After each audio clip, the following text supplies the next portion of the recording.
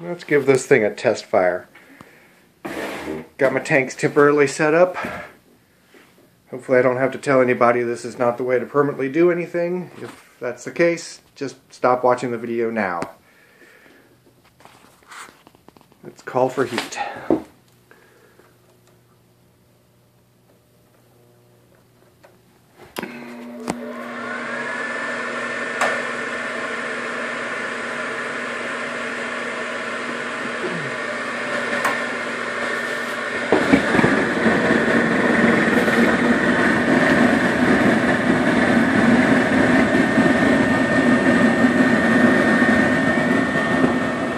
Got my 9 volt battery set up to disable the door lock, or door safety switch I should say.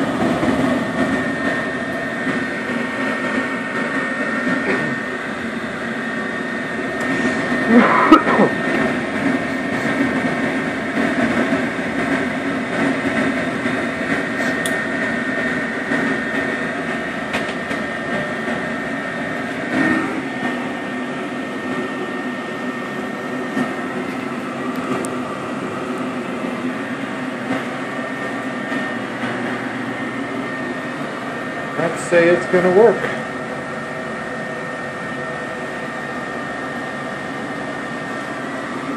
Huh.